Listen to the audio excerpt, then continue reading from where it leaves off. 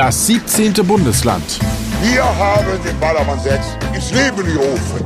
Der Mallorca-Podcast mit Ingo Wohlfeil und Antonia Heyer. Hola, amigo. Wir haben wieder eine pickepackevolle Sendung. Mit mir ist Ingo. Hallo. Hallo, Toni. Ähm, äh, ich habe es ja schon letzte Woche angekündigt, mein Freund auf Malle. Es sind zurzeit sehr, sehr viele Freunde von mir auf Malle. Und es gibt eine große Angst vor Du kennst meine Spanisch-Skills. Ich hoffe, du verstehst mich. El Bicho. Mensch, Toni, da sind deine Kollegen und Freunde aber wirklich gebildet. El Bicho heißt so viel übersetzt wie das Insekt oder der Käfer und ist eigentlich der Spitzname für Ronaldo. Aber auch Corona wird so genannt. Und tatsächlich haben wir hier gerade eine Corona-Epidemie. Allerdings sorgt die nicht dafür, dass die Krankenhäuser überfüllt sind, sondern dass du ähm, umgeben bist von so einem 80 Dezibel Husten deiner Mitmenschen. Da laufen also 18-Jährige an dir vorbei und du denkst, wow, der klingt nach Raucherhusten im Endstadium. Aber tatsächlich ist das die Corona-Variante, die hauptsächlich Husten auslöst. Und das ist so ein wirklich lauter, äh, schleimiger Husten, den man eher so 80-Jährigen zuordnen würde. Und äh, das ist eigentlich das Phänomen. Äh, großartig gefährlich scheint die Variante nicht zu sein. Aber halb Mallorca hat diesen Raucherhusten. Ah, das ist, äh, das klingt auf jeden Fall. es klingt nicht so gut, besonders in deinen Ohren. Aber äh, angenommen, ich fange mir das jetzt, bei welchen Temperaturen liege ich in Corona-Quarantäne? Naja, eine Quarantäne gibt es ja auch nicht mehr. Aber allerdings würde ich sowieso empfehlen, äh, am Nachmittag sich zu isolieren in einem klimatisierten Raum. Die Temperaturen gehen wieder hoch bis auf fast 40 Grad. Und so mache ich das tatsächlich auch. Ich habe meine Termine morgens und abends und tagsüber versuche ich mich irgendwie allein auf mich zu konzentrieren in einem abgeschlossenen, äh, klimatisierten Raum, weil es draußen wirklich wahnsinnig heiß ist. Also es gibt natürlich noch Alternativen zu meiner äh, langweiligen Urlaubsverbringen-Aktion, äh, nämlich zu Hause alleine hocken. Du fährst einfach in einen Beachclub oder direkt ans Meer, da hast du zumindest noch ein bisschen Wind ne, die, was es so ein bisschen kühler macht. Und das ist auch meine tolle Überleitung auf. Ich war am Samstag in einem Beachclub und das war wirklich eine spannende Geschichte. Möchtest du sie hören? Unbedingt. Ich, ich war am Samstag in Cala Cap Falco. Wer es nicht kennt, das ist in der Nähe von Cala Vignes und wer das nicht kennt, das ist in der Nähe von Magaluf. Da verlässt man irgendwann, wenn man dahin will, die Zivilisation, fährt nur noch über so Schotter- und Sandpisten. Und irgendwann, nachdem man, weiß nicht, Tonnen von Staub aufgewirbelt hat, ist man irgendwann da in so einer kleinen Bucht, die von Felsen so abgeschlossen ist. Und das ist wirklich total schön und romantisch. Und das Allertollste an dieser Bucht, es gibt keinen Handyempfang. Nachteil, es gibt dort ein Chiringuito, also eine Strandbude, und da kann man sich auch ins WLAN einwählen. Und in dieser Strandbude hatte ich einen geschäftlichen Termin. Und irgendwann sagte einer meiner Begleiter, wieso haben die Leute da hinten eigentlich lange Hosen an? Also das waren so 35 Grad. So, ja, das ist aber merkwürdig. Wer geht denn in den Strandclub mit langen Hosen? Schau mal, da kommen ja noch mehr mit langen Hosen. Also wir waren irgendwann umgeben von, ich würde mal sagen, sechs bis acht Männern in langen Hosen. Und dann kam einer meiner Begleiter auf den Gedanken, das sind Leibwächter. Und da muss irgendjemand Großes kommen. Und tatsächlich, in diesem Chiringuito waren zwei Tische A, acht Plätze frei. Und dann haben wir den Wirt gefragt, er sagt, ja, da kommt jemand, aber ich darf euch nicht sagen, wer es ist. Gut, oh. und äh, dann bemerkten wir langsam ein schwarzer Lieferwagen und dann so ein schwarzer Van fuhr ein. Diese Männer in den Hosen wirbelten auf einmal herum, stiegen in diesen Van ein und waren weg. So, dann kam der Wirt auf uns zu und sagte, ich hätte mir vorstellen können, dass das Mick Jagger und Leonardo DiCaprio gewesen hätten sein können, die hier hätten herkommen können. Allerdings, erzählte er auch, ist das bei den Prominenten so, die buchen drei Tische in drei verschiedenen Locations und dann wird kurz vorher abgecheckt, wohin man geht, was mit den äußeren Umständen zu tun hat. Und äh, dieser Cala Cap Falco ist auch ein Badestrand. Da saßen also ganz normale Badegäste. Und so werden wohl die Verantwortlichen von vermeintlich Mick Jagger und Leonardo DiCaprio entschieden haben, die kommen sofort alle an den Tisch und wollen Selfies mit den Leuten machen, also werden sie da nicht in Ruhe essen können und dann sind sie wieder abgebraust. Aber warte, Mick Jagger und Leonardo DiCaprio waren zusammen unterwegs? Die machen zusammen oder treffen sich hier jetzt gerade in letzter Zeit häufiger mal gemeinsam im Urlaub, verbringen ihn gar womöglich miteinander und das im Mittelmeerraum. Na, hätte ich jetzt auch nicht gedacht. Das ist so wie, wie Sohn und Großvater zusammen auf Tour. Aber ich glaube, dass Mick Jagger in seinem Hirn auch noch durchaus 35 Jahre alt ist. Aber das wäre natürlich mal ein Knaller gewesen. Ne? Also Prominente bringen mich normalerweise nicht in Wallung, dich wahrscheinlich eher Leonardo DiCaprio, Ja, aber Mick jeden. Jagger mal zu gucken, was der so isst, ob der das gleiche gegessen hat wie ich, obwohl nee, ich glaube, der ist mittlerweile Vegetarier und trinkt nur noch Kräutertee, aber also das, das wäre schon eine spannende Sache gewesen. Aber so fand ich das auch ganz spannend. Erstmal ein Riesenbohai um uns herum, Menschen mit Laptops am Strand und so. Und auf einmal schwingen sie sich alle in einen Van und brausen davon, um irgendwo anders essen zu gehen. Also das war jetzt quasi meine Geschichte ohne Pointe. Wer wäre da wirklich gekommen? Hätte auch der spanische König sein können oder jemand anders. Also, wenn, der Aufwand war wenn- schon immens. Wenn du mir jetzt erzählt hättest, du hast so random Leonardo DiCaprio am Strand getroffen, dann wäre ich komplett ausgerastet. Ich liebe diesen Mann. na, na, na, na gut, also da löse ich jetzt keinen Neid aus. Aber viele Leute fragen sich natürlich, da sind 16 Plätze belegt in einem Chiringuito. Der Wirt geht leer aus. Nein, das wurde mir dann auch noch erklärt. Das nennt man dann No-Show oder No-Show-Table. Also ein äh, Tisch, an dem man sich nicht hat blicken lassen und der wurde dann trotzdem fürstlich bezahlt dafür, dass er nichts machen musste, außer zwei Tische frei halten. Und so waren am Ende alle glücklich, bis auf mich, der so gerne ein Paparazzi-Foto von Mick Jagger beim vegetarischen Salat gemacht hätte. Naja, aber was nicht ist, kann ja noch werden. Also vielleicht wird es, wird es ein nächstes Mal geben, Ingo. Ich drücke dir ganz fest die Naja, also ich weiß nicht, ich glaube, seine Zeit läuft auch ab. Mittlerweile ist der Mann 80 Jahre, so viele Gelegenheiten, den nochmal in freier Wildbahn zu sehen, wird es wahrscheinlich nicht geben. Aber ich bleib da mal Optimist, obwohl lieber, lieber hätte ich gerne ein Foto mit Paul McCartney, denn wenn man mich fragt, Rolling Stones oder Beatles, wäre meine Antwort immer Beatles. Ja, auch fair. Ähm, aber keine super A-A-A-A-A-Prominenz. Äh, dafür eine andere Prominenz ist heute auch auf der Insel gelandet. Im Feindesgebiet sozusagen, ne? Da, das hast du schön gesagt. Wobei, wenn man mal die äh, massive Berichterstattung über diese drei, über die wir jetzt gleich reden werden, nimmt, dann muss man schon davon ausgehen, dass es AAA-Promis sind, denn über keinen deutschen Prominenten wurde mehr publiziert in diesem Jahr als über Yvonne, Peter und Iris. Und Yvonne ist am Samstag, also am vergangenen Samstag, auf der Insel gelandet, um sich mit Peter zu treffen. Aber da ist noch ein Aufpasser dabei, nämlich der Manager, und es ist auch ein Job zu erledigen. Die beiden, Yvonne und Peter, werden hier nämlich Musikvideos drehen für die zukünftige Gesangskarriere von Peter Klein, über die wir ja schon häufiger mal hier geredet haben. Eigentlich war ich eingeladen zum Videodreh, aber das letzte, was ich vom Manager gehört habe, war, äh, sind hardcore busy. Ja, ja. Mhm. Gut, also wir werden ja mal sehen, ob es dann nächste Woche ein äh, Interview mit Yvonne oder Peter gibt oder eben nicht. Ich würde es mir auf jeden Fall wünschen. Ich habe das ganze Drama mit Leidenschaft verfolgt. Ja, aber ähm, man muss sagen, das ist jetzt schon so, die, der Zenit ist erreicht. Das, das klingt so langsam aus, dieses Thema. Ne? Und ich glaube, damit sind auch die meisten Beteiligten eigentlich ganz glücklich, dass sie nicht mehr so im Fokus stehen, wie das äh, vor Monaten noch war, wo selbst ein Unterhosenwechsel eine Schlagzeile wurde. Das stimmt. Da kamen ja täglich mehrere, also da haben sich die Schlagzeilen ja überschlagen. Das, da gab es gar kein Ende mehr. Ähm, aber gut, ich bin sehr gespannt, was du erzählen wirst. Ich hoffe natürlich auf ein Interview. Meinst du es realistisch, dass sie es auch zu zweit machen würden? Ähm, ich bin da noch am Verhandeln. Aber das wäre ja nicht das erste Mal, dass sie zu zweit auftauchen.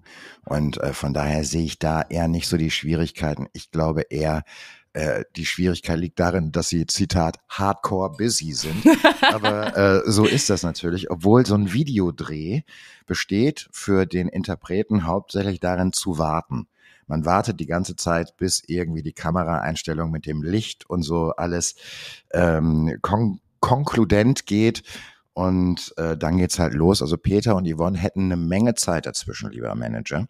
Aber wenn es nicht klappt, finde ich das jetzt auch nicht so schlimm. Denn wie gesagt, diese Geschichte hat äh, längst ihren Zenit erreicht. Aber vielleicht gibt's ja noch mal eine Spitze nach oben, wenn Peter als Sänger so richtig durchstartet. Ja, ich fieber darauf schon hin. Aber kannst du denn zu dem Musikvideo, weißt du da schon irgendwas, was die machen, wo die drehen? Kannst du da irgendwas sagen? Nee, ich weiß tatsächlich bisher noch gar nichts. Äh, außer ich tippe mal, also was, was macht man, wenn man auf Mallorca ein Musikvideo dreht? Und ich würde mal sagen, hier werden so im Jahr 300 bis 400 Musikvideos gedreht. Da leiht man sich eine Yacht, da geht man an den Strand und irgendwo eine Klippe und vielleicht nochmal an die Palma Allstadt mit Kathedrale im Hintergrund fertig. Ja, also da muss man nicht sonderlich kreativ sein. Und ich glaube, allzu viel Geld wird in so ein Videodreh auch nicht investiert. In den 90er Jahren waren das ja teilweise Millionen, die in Musikvideos gesteckt worden sind. Mark, D-Mark wohl bemerkt. Aber mittlerweile ist so ein Budget zwischen 5000 und maximal 8000 Euro. Und damit kannst du halt keine Bäume ausreißen. Nee, aber. Also dann doch vielleicht eine Yacht von einem Kumpel, der Sportwagen von einem Freund ne, und der Strand, der sowieso öffentlich ist. Fertig. Sehr gut. Äh, was machen denn die anderen Malle-Promis? Sind die auch so hardcore busy? Was gibt's Neues? Äh, irgendwelche spektakulären Stories? Ähm, ja, ähm, es gibt da was, das würde ich eigentlich fast in die Outtakes packen wollen, aber das ist das, äh, was ja so leider meine, meine Gedankenwelt nicht so schnell verlassen hat. Finch steht auf der Bühne im Megapark, schnappt sich irgendein Maßkrug von irgendeinem Tablett, trinkt ihn, äh, spuckt's kurz danach wieder aus und sagt, das war Pisse. Oh. So, also irgendjemand hat ins Glas gepinkelt. Äh, das passiert da häufiger mal. Also die Maßkrüge werden dezent unter dem äh, der Biertonne versteckt und dann wird dort hineingepinkelt, dann räumt der Kellner das ab und dann greift Finch zu. Das wird er wahrscheinlich in Zukunft so nicht mehr tun.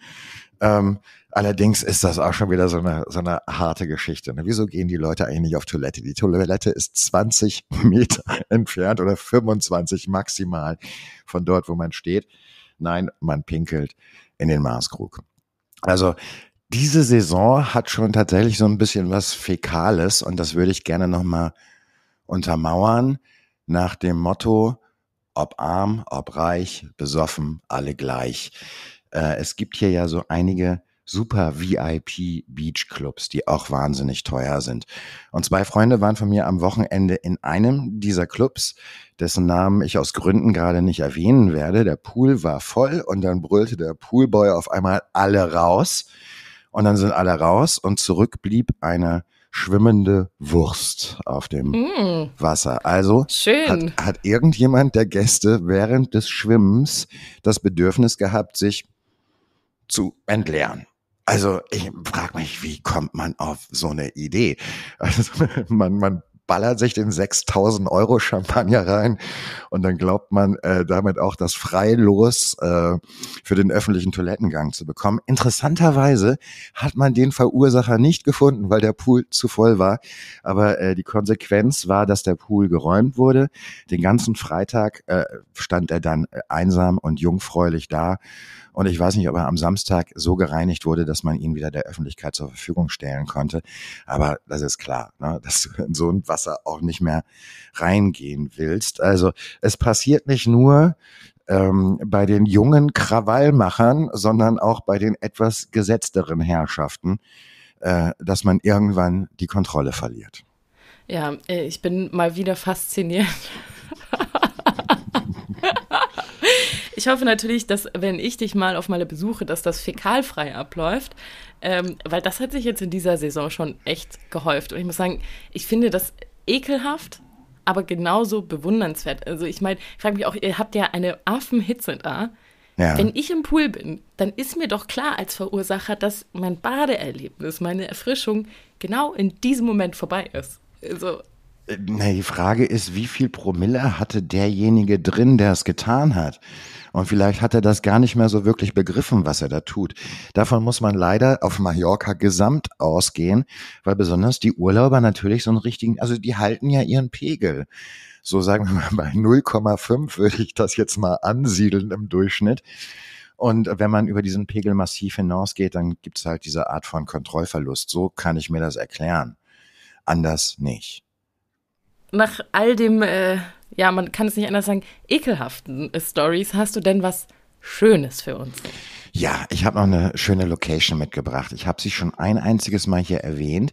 Das ist das Treehouse in Palma zu Beginn des Hafens, schräg gegenüber von der Kathedrale. Das ist eine hochgelegene, circa auf zwölf Meter Höhe gelegene Cocktailbar, von der man den ganzen Hafen überblicken kann. Und äh, du siehst dann so langsam, wie die Sonne hinter dem Hafen untergeht und dabei trinkst du einen wunderbaren Mango Daikiri. Also wenn ihr da mal in der Gegend seid, Kathedrale, so gegen 18, 19 Uhr, dann äh, geht doch mal schräg über die Straße, über den Paseo Maritimo ins ehemalige Cap Blanc und da oben auf dem Dach, da ist diese Cocktailbar und ich glaube, da werde ich jetzt häufiger mal sitzen, wenn ich so richtig melancholisch sein möchte oder werden möchte. Wie so die Sonne untergeht hinter den Masten der Segelschiffe, die ich mir allesamt nicht leisten kann. Das hat schon was. Ja, aber drauf gucken ist besser als drauf sitzen. Das genau. nächste Mal schickst du mir bitte ein Foto, ja?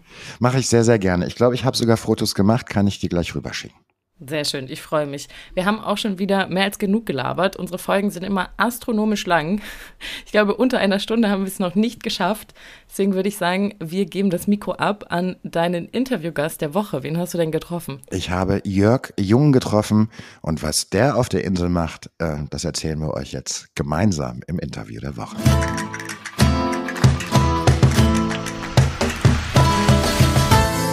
Das Interview der Woche. Ich sitze hier in einer Interviewsituation, die mir jetzt schon ein bisschen unangenehm ist. Hm. Zweite Linie Playa de Palma, Höhe Balneario 3 ungefähr, im Hostal Playa de Palma von Marco Gülpen, dem gehört's unter anderem. Und hier fahren Busse, Motorräder, Quads.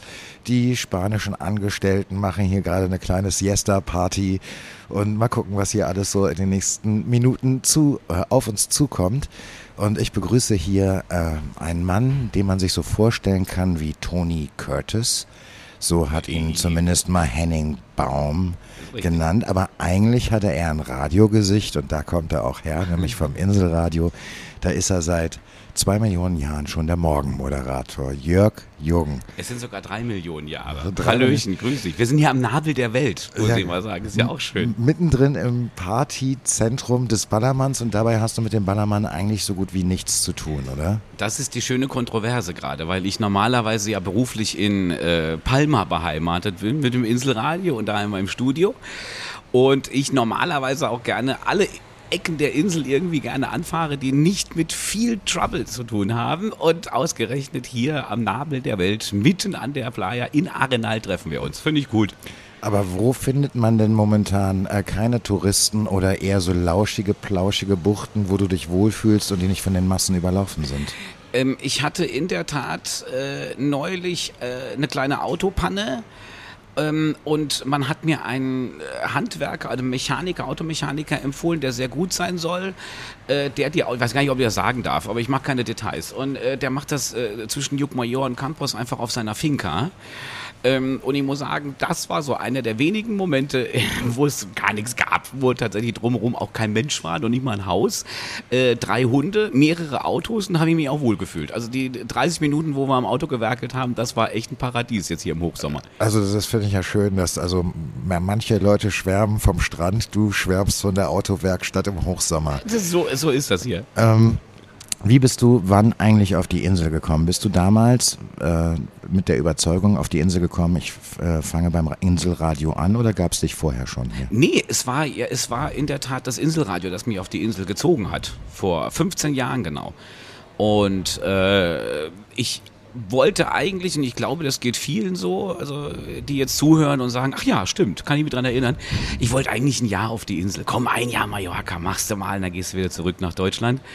Und nach dem Jahr war Deutschland komplett halt erledigt, weil das Inselradio ist halt cool und die Insel ist cool und äh, es hat sich viel verändert seither, aber sie ist immer noch irgendwie cool. Und äh, ja, es sollte ein Jahr werden, jetzt sind es 15 und ich bin mal gespannt. Ich glaube, die nächsten 15 haue ich auch noch drauf hier auf Mallorca. Aber es war in der Tat das Inselradio, das mich nach Mallorca zog, weil ich ein Jobangebot hatte vom Inselradio. Ich war damals Radiomoderator im Saarland bei Radio Salü und äh, letztendlich äh, hat, war dann der Reiz doch zu groß, dann zu sagen, ey, äh, Sonne, Strand, Meer, Palmen, das ist dann doch schon mal was Schönes. Und wenn du hier immer Urlaub machst am Meer, was nie, was nie Mallorca war, es war immer Portugal zum Beispiel, äh, was mich dann gereizt hat, die Algarve. Ähm, ich war einmal, habe ich Balmermann Urlaub gemacht und habe dann aufgrund meiner körperlichen Verfassung nach diesem Urlaub habe ich gesagt, nie wieder Mallorca. Ähm, dass ich mal da leben werde, wusste ich dann auch nicht am Ende. Aber äh, Inselradio hat mich dazu gebracht und das ist ganz gut so am Ende. Aber was hat dich denn gehalten? Weil, also viele Leute kommen ja in der Tat für ein Jahr nach Mallorca und bleiben dann eine Ewigkeit, fangen als Promoter an, ja. als Ticketero, als Tänzer, als Barkeeper, als Koch, äh, was auch immer. Ähm, aber was hat dich dann hier gehalten? Weil der Riesenverdienst hier und das süße Leben kann es ja nicht sein, weil so viel verdient man ja nicht beim Radio, sage ich mal. Ja, aber äh, es ist tatsächlich mein Chef, liebe Grüße, ähm, äh, der, Daniel Vulic nee, heißt Daniel der. Vulic, der dann immer äh, tatsächlich auch, es, es gab auch mal die eine oder andere Phase, wo ich dann sagte, boah, ich kann nie mehr, weißt du? Und ähm, aber am Ende ist es immer so, dass das Inselradio letztendlich mit dem, mit allem drumrum, ja, mit allen Menschen wie wir hier zusammenarbeiten, äh, die immer wieder ein- und ausgehen, mit, mit Events, mit allem drum und dran irgendwie einen doch wieder halten. Also du denkst ganz oft, oh nee, komm, ich brauche nochmal einen Ortswechsel. Und dann denkst du, ah nee, da würde ich aber das und das und das und das und das würde ich vermissen. Und da ist das Thema wieder abgehakt. Also äh, sehr interessant hier auf Mallorca. Man weiß ganz genau, was man vermisst, dann bleibt man ja doch am Ende. Und ich glaube, auch da spreche ich vielen aus der Seele. Du hast aber auch noch einen Zweitjob, wo man dich sehen kann. Beim Radio kann man dich ja nur hören. Du singst. Ach ja, äh, in dem Jahr, ich habe ich hab ein bisschen aufgehört damit. Ach so. Ähm, ich möchte im nächsten Jahr äh, nochmal ein bisschen mehr machen in der Richtung. Aber nach Corona, und da sind wir wieder bei diesem Schlagwort Corona, da war der Wurm so ein bisschen drin. Der, den Bus fand ich jetzt auch wieder interessant. Wir sind weiterhin, könnte man hier im Bus- und B-Tag. Ingo, Ingo Wohlfall hat die ganze Zeit Angst, dass der Bus ihm die Sendung hier verhagelt, aber ich finde es gut. Aber, nee, aber wir aber haben überall hier so eine Geräuscheinstrahlung. Gleich wird hier auch noch ein Kaffee bestellt und zwar jetzt. Genau. Wir können aber auch zu meinem Automechaniker nach Jokomajoa, bei dem ist ruhig. Nee, aber äh, am Ende war es Corona ähm, äh, wo ich mir dann selbst irgendwie gesagt habe, wir hatten genug mit dem Radio zu tun in der Zeit. Du kannst dir vorstellen, wir waren ja dann so mit Ansprechpartner Nummer eins, weil wir durften ja im Prinzip Daily Business weitermachen während der Corona-Zeit hier auf Mallorca, was unfassbar gespenstisch war. Also mache ich gleich ein ganz neues Fass auf, äh, wie die Corona-Zeit als Radiomoderator ist oder war. Aber dann hat natürlich erstmal die Singerei ein bisschen aufgehört und danach habe ich diesen Motor gar nicht mehr so ins Laufen bringen wollen, weil ich mich erst auf ganz andere Sachen konzentriert habe. Ähm, werde das aber gerne auch wieder machen. So, Bus. Herrlich. Wir machen gleich ein Gewinnspiel, erkenne den, die Buslinie am Geräusch. Aber ich finde es super.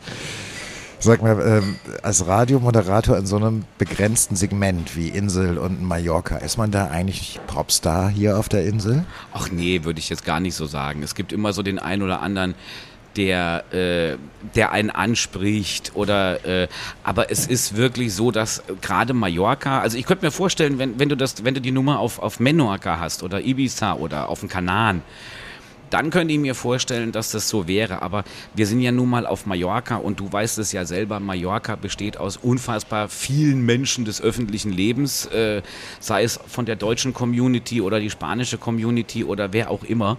Da gehst du, da bist du als, als Morningshow-Moderator beim Inselradio, die kennen dich, das ist alles schön, aber äh, da bist du im, im, im Schattendasein und äh, Alles ist gut. Sie, die, guck mal, die, sie zeigt uns gerade an, sie muss jetzt einen Kaffee machen. Gut, dann machen guck wir an mal, dieser wie, Stelle wie mal kurz. aufmerksam hier das Personal ist. Hervorragend, ja. Also wir hören gleich das Geräusch eines Kaffees, der gerade hergestellt wird. Meine. Ah ja. So, das ist jetzt die äh, Kaffeemühle. Ja. Ich könnte jetzt persönlicherweise mit meiner eigenen Stimme noch den Milchaufschäumer nachmachen. Das kann sie, weil ich könnte. Das war ich, aber gleich kommt's Original. Ich liebe es. Schöne Atmung.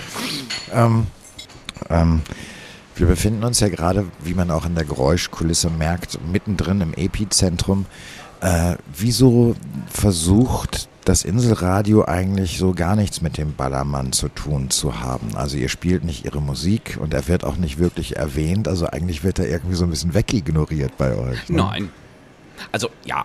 Ähm, Also wir warten wir werden, wir berichten natürlich immer mal, wenn es irgendwas hier von der Ecke gibt, ja, was dann erwähnenswert ist. Aber ähm, du musst ja wirklich sehen, äh, für, für dieses Klientel hier und für diese Ecke hier, da gibt es genug andere die dann darüber berichten, die sich auf diese Schiene setzen, die dieses Genre bedienen. Und wenn es genug andere gibt, warum sollen wir das? Ähm, äh, Naja, weil es war ja auch ein Teil der Insel ist und der Inselklangkultur, wenn du so willst. Ach ne? jo, also ich, ich möchte mal, wenn, wenn wir uns jetzt auf der Landkarte die ganze Insel angucken und äh, auf dieser, je nach Maßstab, diesen, diesen, diese zwei Millimeter sehen, äh, wo sich das alles hier abspielt von der Gesamtinsel, dann äh, lassen wir ja trotzdem, sag ich aus, wir lassen Santa Ponsa aus, äh, wir lassen Porte Antrasch aus, Arta, wie sie alle heißen am Ende, Alcudia. Also im Prinzip, es gibt ja so viele schöne Ecken auf der Insel und wir sind doch happy, dass wir als deutsches Medium äh, täglich äh, diese, diese Ecken bedienen, weißt du? Und äh, hier Ballermann, ich finde es ja nach wie vor spannend, äh, manchmal finde ich es albern, äh, manchmal finde ich es vollkommen übertrieben, äh, auch mal negativ, was man so an Videos in diesem Jahr sieht und, und, und so hört. Aber wir sind einfach froh, dass wir einfach den Rest der Insel abdecken. Und äh, das ist auch ganz gut so. Du hörst ja jeden Morgen die Nachrichten deines Nachrichtensprechers. Hat diese Saison, wenn man so diese ganzen Nachrichten hört, irgendwie eine andere Qualität Inselgesamt als die restlichen? Hat sie was Besonderes? Ich finde es heftiger. Die, das ist, die, es ist das heftigste oder eins der heftigsten Jahre überhaupt. Also äh, A, was die, was die Frequenz hier angeht, die Frequentierung Mallorcas, äh, was die Menschen angeht, aber auch was die Vorfälle angeht. Also äh, es ist tatsächlich, wir haben gerade neulich war eine Verkehrsstatistik, wir haben jetzt schon im August haben wir so viele Verkehrstote, ähm, wie es das ganze Jahr, letztes Jahr nicht gab. Ja, und das war ja auch äh, nach Corona, ja. Und schon ein Rekord, ja. Also Gibt es dafür Erklärungen? äh, Ich glaube einfach, dass die Insel, äh, das hat jetzt wieder mit der Frequentierung zu tun. Ich glaube, die Insel ist wiederum voller. Es werden gerade hier Tüten ausgepackt. Ich finde es toll, wie an Weihnachten. Nee, aber ich glaube, ähm, die Insel ist stärker äh, frequentiert in diesem Jahr. Und da musst du gar nicht vom, vom hier unserem berühmten Ballermann reden, äh, wie sich alle hier benehmen. Ich glaube, ähm, es ist einfach in diesem Jahr ein Gewusel und ein Gewusel und das wirkt sich dann auch zum Beispiel negativer aus. Ja? Also ich finde persönlich, es sind unfassbar viele Menschen auf der Insel und die Insel ist unfassbar voll und zwar in einer Art, die ich so in 15 Jahren noch nicht erlebt habe, dass sie so voll ist. Alleine die, das Verkehrschaos. Also ich sage auch die ganze Zeit in dem Jahr, es, es gibt zu, äh, es sind zu viele Autos für zu wenig Insel. Und, äh, und das merkt man halt einfach. Es ist Stau hier, es ist Stau da, jeder will mal da, jeder. Das Gewusel ist einfach zu groß. Und das viel, fällt mir in diesem Jahr unfassbar positiv, aber auch negativ auf. Bist du dann jemand, der sich so ganz besonders auf den Winter freut hier äh, auf Mallorca, weil Nö. es dann so wieder ruhig, ruhig und angenehm ist und man staufrei zur Arbeit kommt? Das ist dann so die erste Woche, wo die Bürgersteige hochgeklappt werden. Also einmal tief durchatmen, danach schon wieder langweilig. Vor allem, was ja nie auf Mallorca zu unterschätzen ist, ist die nasse Kälte. Also wir haben ja jetzt im Sommer auch, muss man auch sagen, rekordmäßig diese, diese feuchte Hitze.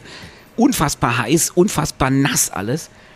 Äh, aber im Winter ist ja noch schlimmer, weil dann ist es kalt und feucht. Und das ist ja ist, ist, the worst case von allem. Also insofern, wenn die Bürgersteige hier, sagen wir mal so im November hochgeklappt werden, dann freust du dich eine Woche lang, dass die Insel fast wieder für dich ist und dann hast du schon wieder stinklangweilig. Also das ist dann auch, auch doof. Da musst du dich erstmal bis Mai wieder mit dieser nassen Kälte rumschlagen. Was machst du denn da eigentlich so in dieser Zeit, in dieser langweiligen, kalten, Eigentlich nur Zeit? vor einer Heizung sitzen. Also entweder im Hast Sender sein. Ja, also im Sender sowieso. Wir sind ja perfekt. Wir sind ja jetzt in den neuen Sender Inselräumen oben in der García Lorca, also sprich äh, nicht mehr ganz am Paseo Maritimo, sondern ein bisschen weiter in der Stadt drin. Finde ich eine super Location und vor allem äh, haben wir ja tatsächlich so mit die modernsten Büroräume jetzt mittlerweile, die du auf der Insel finden kannst. Großes Lob wieder mal an den Chef. Ähm, und da, das ist sowas perfekt klimatisiertes, habe ich nie erlebt. Also im Sommer wie im Winter ein Traum, da einfach in dem Studio drin zu sitzen. Und den Rest sitzt man einfach auf einer oder vor einer Heizung, glaube ich. Nee, es macht schon Spaß, äh, tatsächlich die Insel dann ein bisschen alleine, wenn es die schönen Tage gibt. Und die sind ja sehr häufig äh, dass auch die Sonne scheint und dass es dann auch im Vergleich zu Deutschland relativ warm ist, ähm, äh, dass man dann relativ staufrei wieder irgendwelche Ausflüge machen kann. Da freut man sich ja schon drauf. So ist es ja nicht. Und du bist auch sehr markant unterwegs, nämlich mit einem, du hast einen wunderschönen Oldtimer, mit dem du hier über die Insel fährst. Ach ja. Um was handelt es sich da? Äh, wieder, wieder unterwegs. Also ich hatte ja äh, jetzt äh, letztes Jahr im November, Oktober hatte ich ja elf Tage lang das coolste Auto der Insel. Elf Tage? Ja, elf Tage lang, bis ich ihn dann tatsächlich in einem blöden Wintermoment, äh, wo die Scheiben angelaufen waren, äh, gegen einen Lieferwagen, also wir, wir küssten uns und es war nicht so gut für mein Ford. Es ist ein 73er Ford LTD, äh, hieß es noch, aus den Staaten ist der. Ist eine Riesenkiste, die ist fast sieben Meter lang und zwei Meter zwanzig fast breit, also ein richtiger Straßenkreuzer. Und ein Ex-Requisitenauto für amerikanische Serien. Also äh, äh ganz, ganz safe äh, ist, also war ja schon Requisitenauto bei Die Straßen von San Francisco und Charlies, Charlies Engel. Was war das? Das war da draußen der Flaschenmülleimer. ja, wir möchten an dieser Stelle in diesem Podcast auch Recy Recycling-Werbung machen. Auch hier auf Mallorca wird recycelt. So, aus. Fertig. Ähm, aber ich meine, du hast, aber mit, findest du überhaupt in Palma einen Parkplatz mit diesem Teil? Ja, in der Tat, ich habe bis jetzt noch nie Parkplatzprobleme gehabt. Also man muss natürlich dann gucken, ob man irgendwo so eine 7-Meter-Lücke findet, aber man findet sie. Es dauert zwar zwei Stunden, aber ich würde nie zur Arbeit mit diesem Auto fahren. Ach so, das äh, machst du nicht. Nein, würde ich nicht. Aber ähm, äh, auf Mallorca hatte ich noch nie, wenn ich jetzt sage, ich fahre, wir waren neulich in Calaratiada, war mit dem Ding. Der ist ja für sechs Personen zugelassen. Drei vorne dürfen sitzen und drei hinten. Und da haben wir das auch ausgenutzt, waren mit sechs Personen in Calaratiada und äh, hab da prompt einen Parkplatz gefunden. Klingt so eigentlich wie eine ganz schöne Hochzeitskutsche, die du da hast.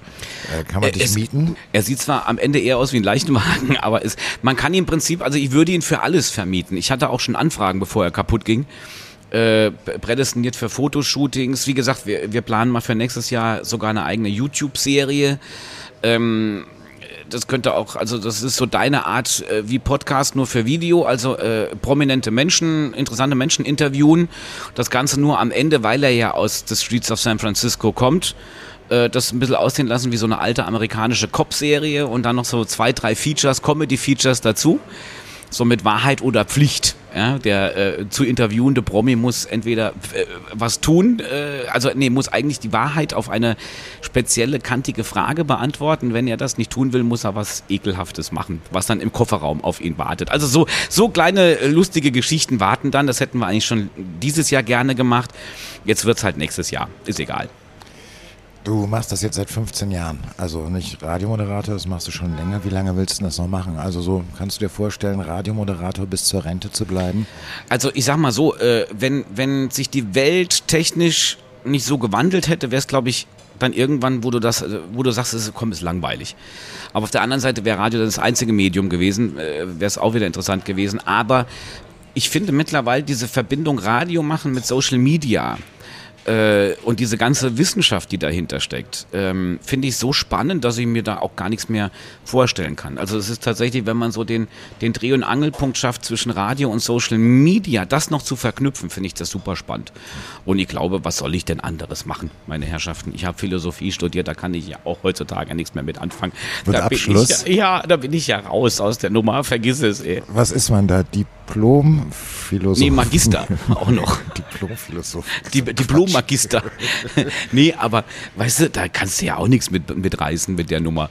Aber Und, immerhin äh, hast du es durchgezogen. Ja, aber egal. Nee, da war ja schon, ja, aber, aber da war ich ja schon wieder, da habe ich ja schon, währenddessen habe ich ja dann schon Radioluft geschnuppert und wusste ja, das Thema wird nichts mehr. Und dann bin ich ja dann ins Radio umgewechselt und habe nichts mehr anderes gemacht. Wer ist denn so dein mallorquinischer Lieblingsphilosoph? Äh, Ramon Yui, haha, da kam jetzt natürlich die Scherzfrage. Äh, nee, Ram, Ramon Yui, wunderbarer Philosoph, mit dem war ich noch gestern ein Trinken. Ramon Yui war ein Mönch, meine ich, ne, oder nicht? Äh, Ramon Yui war alles. Der war Mönch, aber auch Philosoph. Der, alles Mögliche war der. Das, damals konnte man sich ja noch Dinge erlauben, vor 500 Jahren. Und er ist tatsächlich, also wenn, wenn man auf Mallorca irgendwann mal außerhalb des Ballermanns auf Ramon Yui trifft, mit, mit Doppel-L-U, nochmal Doppel-L, was schon abenteuerlich Yui. ist, dann war es der Denker Mallorcas. Okay, also das war auf jeden Fall eine sehr schnelle und spontane Antwort und du hast mich damit tatsächlich auch so ein bisschen überrumpelt. Als jemand, der Ich dachte, du wolltest mich überrumpeln, weil du es schon weißt. nee, ich, ich war jetzt tatsächlich so ein bisschen ergebnisoffen, aber dann hast du mich wieder drauf gebracht. Ja, Ja, es, es gab Okay. ja mal, den einsamen.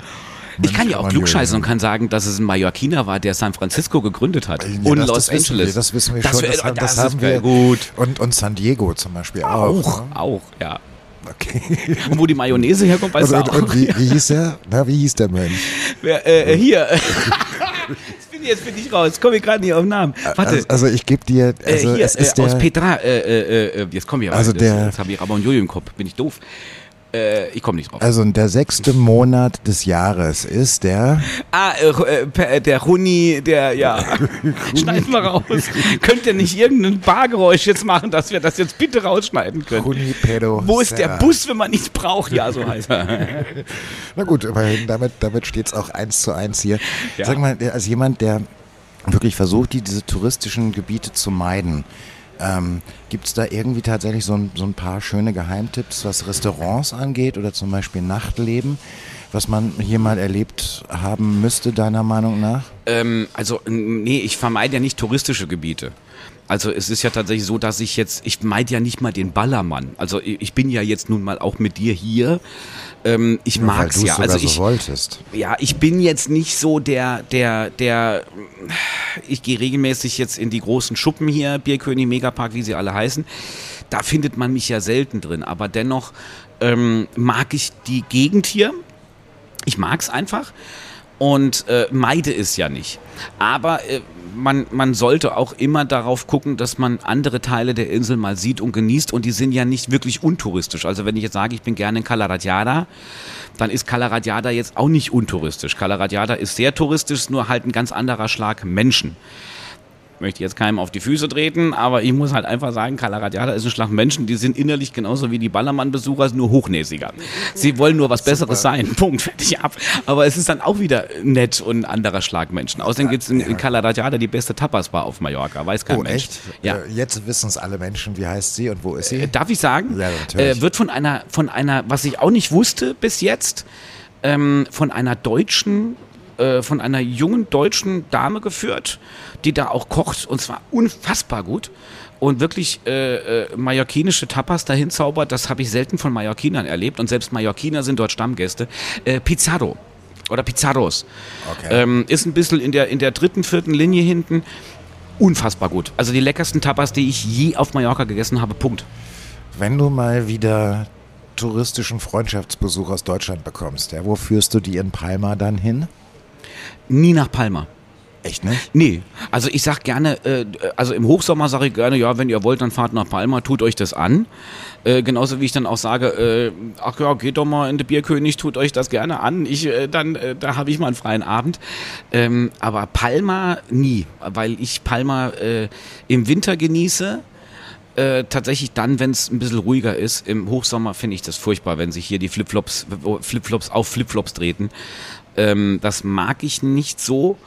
Ähm, wenn Freunde von mir kommen, dann schicke ich die sehr, sehr gerne, wirklich tatsächlich Playa de Muro, äh, auch mal gerne hoch ins Gebirge, wo ich dann sage, äh, guckt euch mal Weidemossa an, guckt euch mal Porte Soja an und so weiter. Das sind so meine, äh, Gorge Blau oben, also im Prinzip die Stauseen, für mich immer noch eine der schönsten Ecken im Sommer wie im Winter. Und ähm, äh, dann sage ich auch, ja, komm, ja, wenn ihr nach Palma wollt, macht es. Und danach kommt ihr nach Hause und ich verarzte euch und dann geht's weiter.